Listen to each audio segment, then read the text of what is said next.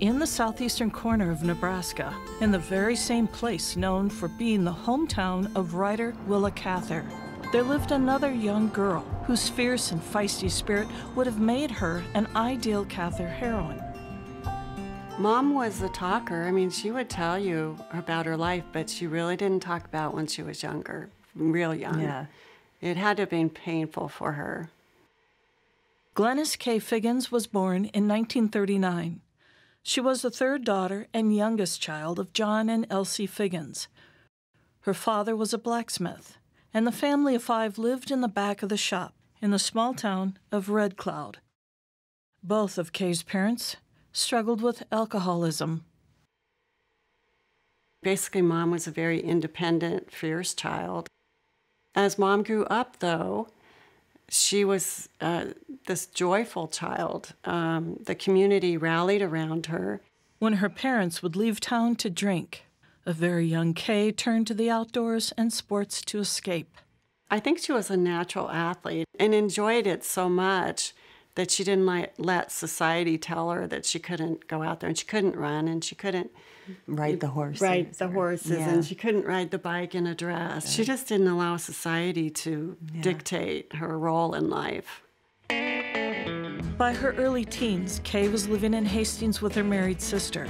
There, she joined a fast pitch softball league, and in 1953, her team placed second in a regional tournament. The sport would have a lasting impact on Kay. Then at 16, Kay quit high school to marry Bill Mulkey, who was 23. The marriage gave Kay security, and within a year, their first daughter was born. Aunt Chloe was worried about mom being, you know, a mother now. And so they came all the way down to the farm to check on mom. And our dad was there and she asked, Where's Kay? And he said, Well, she's down at the pond with Brenda. And so they went down to the pond in the pasture. There was one tree there, and Brenda was on a blanket and mom was fishing. yeah. By 1965, there were three more daughters, and the family was living in Lincoln. In March, Bill went to a local lake to try out his Christmas gift from Kay. It was a canoe, but while in the water, it capsized and Bill drowned. At 25, Kay was left a widow with four young girls. When you see when she was married to Bill, our dad, um, she was trying to trying to conform. She was trying to be that perfect housewife. But when dad died, I think she just thought, to heck with that. I'm going to live my life the way I want to. I'm going to play fast pitch softball in the summer. I'm going to bowl in the winter. I'm going to go hunting because I really enjoy doing that. On Halloween of the same year, Kay met Wayne Cover. They were married within two months on Christmas Eve. So he had just got out of the military and he thought he was going to raise us girls like the military. And that didn't go over well because we'd been free range kids for since we were this tall, you know. It was a happy marriage, and by the early 70s, Kay and her family returned to Red Cloud. Her daughters were now old enough to play softball, but the town didn't have a league. Kay set out to change that. She played it uh, long before we played, and she played every summer that she could when she wasn't pregnant. She loved the game, so Yeah. why wouldn't anybody, any other girl? Uh, And yeah. it, it would give us something to do, you know, in the afternoon, evenings, keep us out of trouble. So she approached the city council and asked for some money to get it started. And they said, no, all the money is for the boys, baseball. Um, and they said, in fact, if you want to play at night, you'll have to pay for electricity to turn the lights on.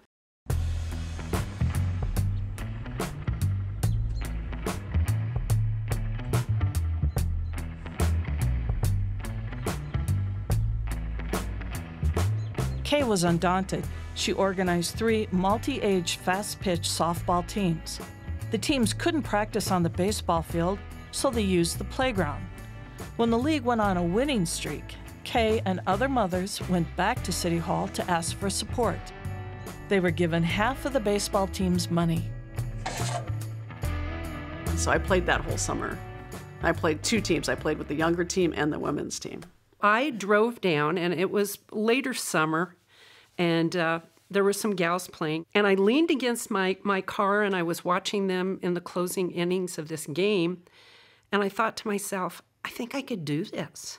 And I was 18. I just finished my first year at Kearney State College. Marla Tigerstrom came from a long line of ball players. Her grandfather, dad, and brother were all catchers. Her mother and aunt played league ball too. Kay knew about her lineage and made her the team catcher. Connie Miner's parents were also athletic. Her mother ran track in high school. When Kay noticed Connie's natural talent for throwing, she made Connie the team's pitcher.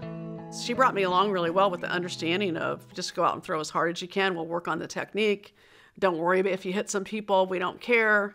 Um, you know, it's part of the game. I mean, so that never really did bother me. And some people took that as I was cocky and I didn't care, but that's not that. It's part of the game. I mean, that's what I was taught.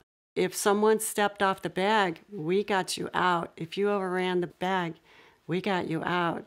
If you were going to bat, we harassed you. yeah. I would not want to be, I would not have wanted to play against I know. us. And I've had people come to me later and go, You guys, you were really mean. you know, the whole, hey, batter, batter, batter. Yeah. Yeah. Yeah. I mean, we just were too good. it was just, uh, we, their... we weren't polite when yeah. we played ball, and that's how we were taught, and that's how you won games. Not a lot of teams that we played played like hard like that. You know what I mean? Like we slid, we dove for balls. You know, we didn't let them bounce in front of us. We're going to lay out and try to make a play. So we were taught that, and a lot of teams we played, I, they just didn't.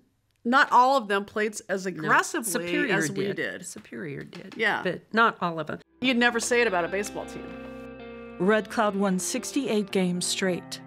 The league played ball as it was meant to be played, which sometimes upset the other side.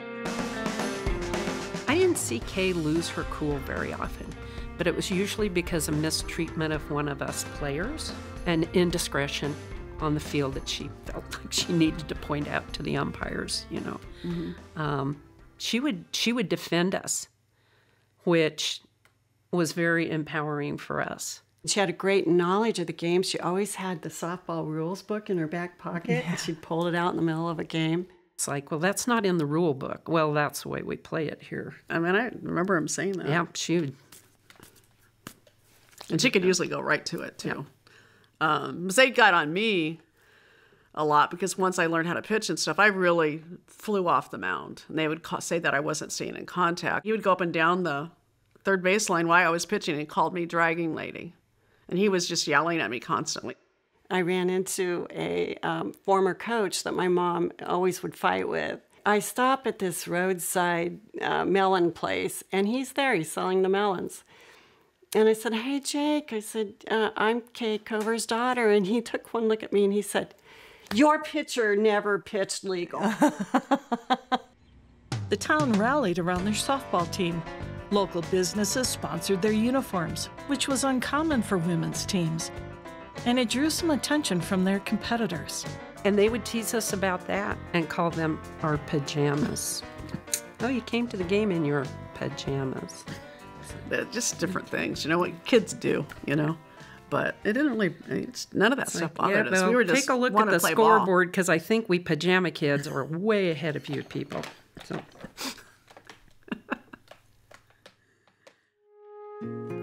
Kay was active in the league for nearly a decade, but a chronic lung disease brought an end to her coaching days. Then, in 1988, at just 48 years old, Kay Cover died.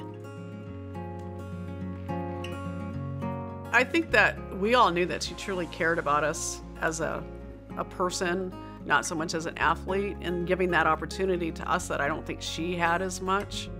She knew how to make you feel important to the team. She was very positive. I think one of the biggest things she gave a lot of young girls was confidence in themselves. That's what I think was a big key. Because, you know, where do you get that from when in that age, you know? So I look back and think, wow, if, you know, where would we be if we didn't have women like that? But that was a role model for us because it was a woman that went out there and said, you guys, we're going to have softball. And, um, and she taught us so much.